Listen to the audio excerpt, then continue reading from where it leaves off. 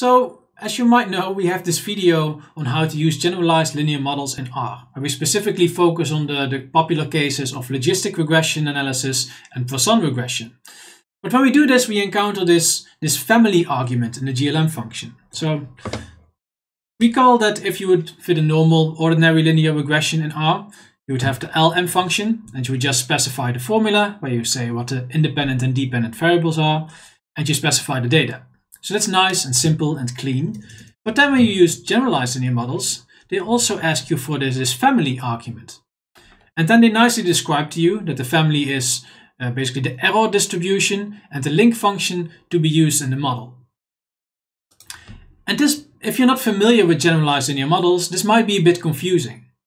So in the tutorial, we showed that if you want to use um, a logistic regression analysis, you would use the binomial family. And by default, the binomial family uses a logit link. And that is what defines a logistic regression. Similarly, um, instead of using binomial, if you want to use a Poisson regression, you would use a Poisson link, a Poisson family with a log link function. And then maybe if you do a regression with a binomial dependent variable, but now you're um, in your field, they don't really use logistic regression, but they use probit regression, which is a common alternative. Then you might want to use a probit link function. And again, if you're not familiar with generalized linear models, this might all seem a bit strange. But that really is a big shame because this family part of the GLM function is really what's at the heart of generalized linear models and what makes these models, well, so what makes them generalized and that's what makes them so powerful and useful. So in this video, what I wanted to do is to try to help you develop a bit more of an intuition for what this family argument here entails. So basically describing what this error distribution is here and what this link function is.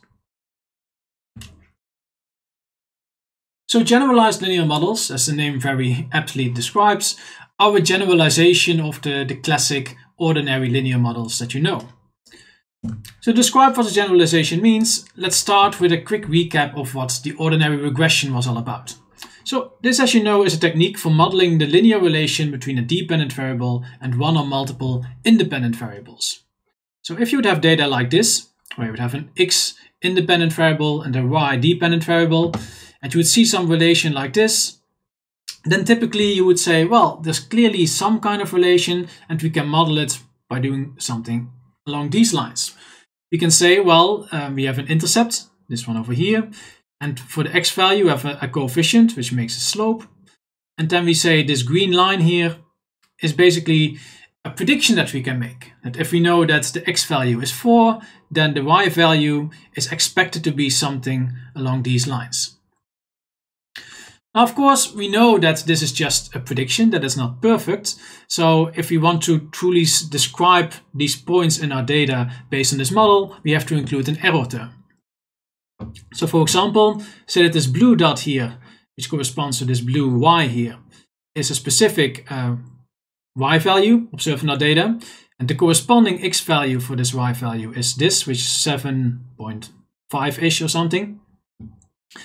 Then for this point, our prediction would have been here, but our prediction is slightly off. We need to add some value to get the real value. And that what we need to add is the error term, the error, the mistake, the, the part where our prediction is incorrect, so to say. So the value of this model then is that it helps us say something about the relation between x and y.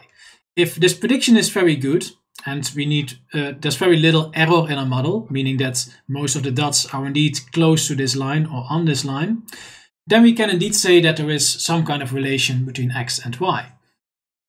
So the cool part of learning statistics is that you see this and you see all these possibilities and you think, wow, this is a really, really useful tool. And then the sad part about learning statistics is that they tell you, well, yes, this is a very useful tool, but you can only use it in certain occasions. There are many assumptions that need to be met for you to actually be able to use this method properly.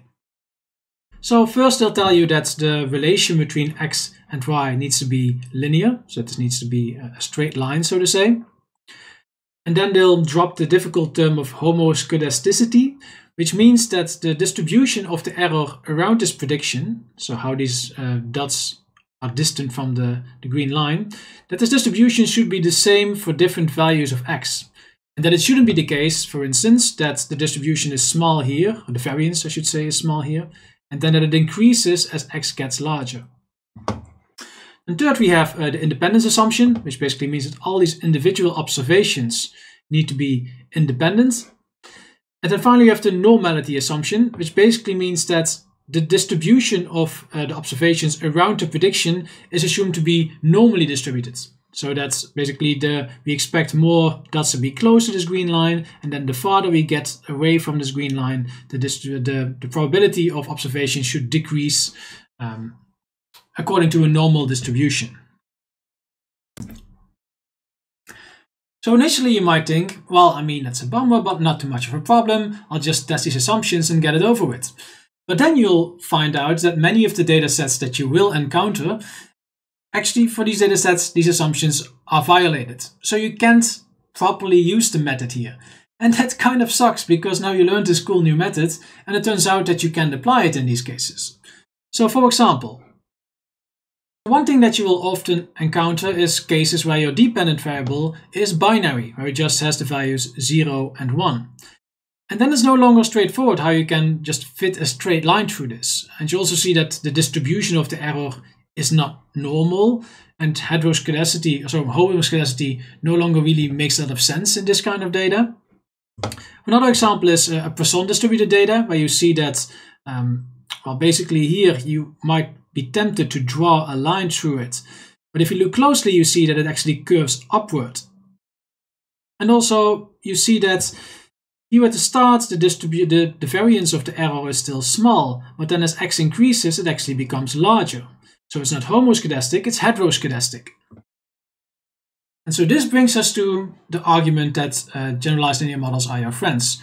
Because basically the idea is that by generalizing these ordinary linear uh, models, we can relax some of these assumptions. So for example, if we have data with a binary dependent variable, we can fit a logistic regression model. So here we see that the line is curved. And this is actually what happens because of that logit link function that we mentioned earlier. And it's actually still a linear model, but we'll show how that works in a minute. And you also see that here the, the error distribution that we already observed is not really normal. Now instead of using a normal distribution, we actually use the binomial distribution. So then it does make sense. And below here, we can actually use a Poisson regression, which does take this, this upward curl into account. And uh, if you look at these blue lines at the sides, these are indicating for the, the error distribution. You see that it actually models that as x increases, the error variance also increases. So you can actually, well, deal with these assumptions in still a linear model, but then using this generalized format.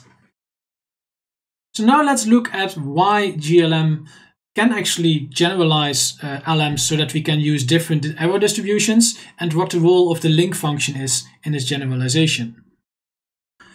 So to do this, um, let's first rewrite this formula slightly uh, to also make it explicit that we're using a normal distribution uh, for the error. So first let's distinguish that we have a systematic component, so that's this prediction here, and it's systematic because we basically have one clear fixed prediction. And then secondly, we have the error component, which is about how the actual observation is different from our systematic uh, prediction. So we can now rewrite these as follows. So here we say that for the systematic components, we have this linear uh, prediction, which we here call mu. And mu is um, basically the expected value of y for a given value of x. So here if x is 2, then mu, which is on this green line here, is about 3.5. So the expected value of y is 3.5. And now the random component tells us that the real value of y is drawn from a normal distribution where the expected value, so here the mean of the normal distribution, is mu. So here we say that if x is 2, we expect y to be 3.5, but the real value of y is drawn from a normal distribution where 3.5 is the mean. And by the way, uh, normally, of course, this normal distribution would also include a standard deviation, but we omitted that here for sake of simplicity. So now from this form, uh, we can go to the actual generalization. So here we see that in the generalized linear model, um, where in the classical linear model, we would always use a normal distribution. In the generalized linear model, we can use well, any distribution from the exponential family. So we can, for instance, use binomial, Poisson, but also gamma. And the idea, of course, is that um, we again want to somehow link this random component to the systematic component, and the systematic component should still be linear. Now in the classical model, this link was very straightforward. We can just take this expected value and use it as the mean of the normal distribution. But this is not always possible for any type of distribution.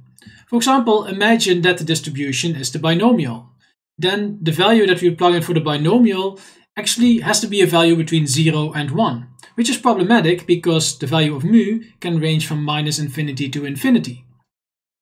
So simply put, if we have um, if we allow our distribution to be more than just a normal distribution, we need to have some kind of way of making sure that the systematic component produces a number that we can use as a parameter in the distribution. And this, as you might now already have expected, is where our link function comes in. So the link function is the function that ensures that the number produced by the systematic component is actually something that makes sense to be used in this distribution. So now here we are we now see that the distribution that we could choose in the GLM function, uh, which could be binomial or Poisson, is basically stating which distribution we want to use from the exponential family. And the link function is the function that we use to make sure that the number produced by the systematic component can actually be used in this distribution and also make sense to be used in this distribution.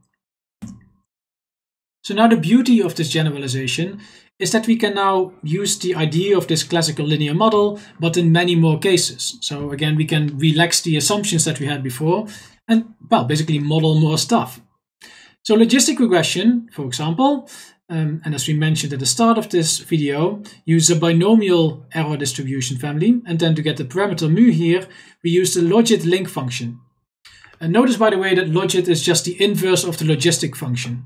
So by, uh, that is also what the name logistic regression comes from. And by making this transformation, we actually make sure that mu is squeezed for, to a value between 0 and 1, which is also what you see in this plot, where you see that this transformation is the result of applying that link function. So it approaches but never quite reaches 1 and 0.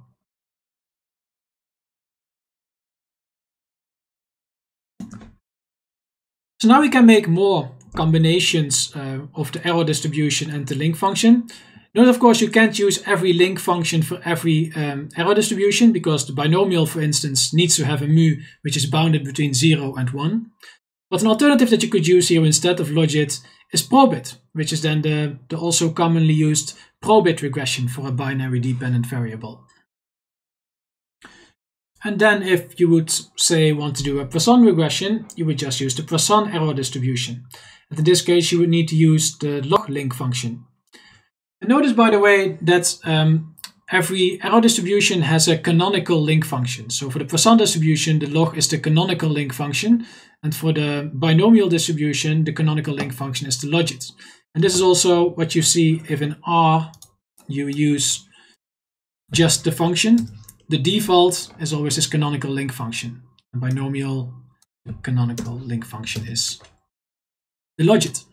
So that's also why if you use the family in GLM, you just need to type binomial and you don't actually necessarily need to specify the link, but still it's, it's good to know where this link comes from and to know that sometimes it makes sense to play around with it. And then as a final example, uh, because there are many more examples that we could give of different families that we could use, but here, uh, let's say that we're just going to make a normal, ordinary linear regression model. Because of course this is a generalized approach, right? We can still do the original thing that it generalizes. In this case, this just means that we're using the normal distribution or the Gaussian distribution. And in this case, the link function is just the identity. So it just means that the eta that we get from the systematic components is just identical to the mu because again, here we just produce the expected value, which is the mean of the Gaussian distribution. So with that, I hope to have helped you just a little bit in getting a bit more sense about what this family argument in the GLM function is all about. So if you're interested in all the other family stuff that you could use here, all the other options, note that there's a help page for family that just gives you the different um, error distributions and link functions. So here we see the binomial logit link for logistic regression, uh, Poisson for Poisson regression, etc. And to be fair, you're probably not going to use all of them or even that many. Um, I actually don't. For me, the main reason of looking into this was mainly that, well, I just don't feel terribly comfortable making any kind of conclusions if I just don't really understand all the stuff I'm putting into my statistical functions. And I mean, if you're stuck around long enough to finish this video, I'm going to assume you have similar concerns. So on that note, one final thing to note is, of course, this doesn't tell everything about generalized linear models. It, for instance, also generalizes how to think about residuals um, if we have a binomial distribution. Uh, a great book here would be Generalized Linear Models from Müller, McCullagh and Nelder, which is more or less the Bible on this topic. I'll put a link in the description. Um, so with that, um, I hope to, uh, that this was interesting to you. Thanks.